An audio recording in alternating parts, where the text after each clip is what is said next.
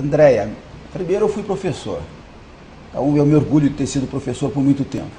Segundo, eu andei nas escolas de Goiânia, nos CIMEIs, nas escolas municipais e fui buscar a ansiedade dos professores e dos servidores municipais.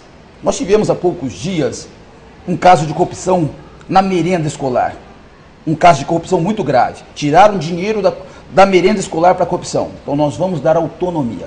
Eu penso que o melhor remédio. E você não, não vê em nenhuma parte do país isso que a gente está propondo. Apesar que tem um candidato que copiou a nossa proposta também a eleição do secretário de Educação. Isso vai dar autonomia. Hoje, para você conseguir vaga no CIMEIS, a mãe lá da periferia, ela tem que pedir para o vereador.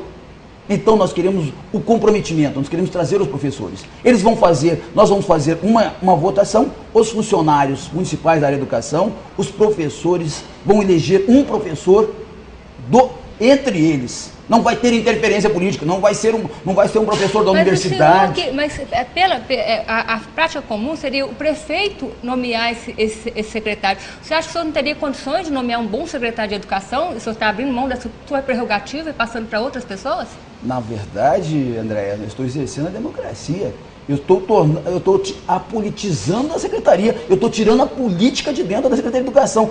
Que bom seria Andréia, se nós pudéssemos tirar a política de, de boa parte de tudo, da educação, da segurança, da saúde, não é você ter a capacidade, mas você trazer pessoas é, técnicos. O que nós queremos, na verdade, o que nós buscamos é técnicos, especialistas que, que vivem em educação. Não adianta, ô Valdir, a, a, nomeia um amigo seu aí, advogado, ou é, para ser secretário de educação. Não, a prefeitura não vai ser mais a casa dos amigos, não. Do jeitinho, nós vamos tornar a prefeitura técnicas técnica, com os melhores profissionais. E deixa eu só avançar um minutinho, Jacques. Hoje, até hoje, nós temos dezenas de creches, de placas e de cobertura de eternite, onde as crianças ficam naquele calor desesperado. E todas as gestões que tiveram aí há 20 anos não mudaram isso, Jackson. Isso é humilhante. Faça uma visita. Eu fiz a visita às creches, às placas. Tem, tem escolas, tem escola, Jackson, que não tem sala para os professores. Tem escola que, que não tem muro.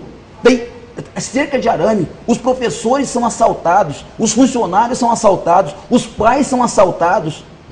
É? Então é essa realidade que não tem sido mostrado Delegado, pelo jornalismo, pela imprensa.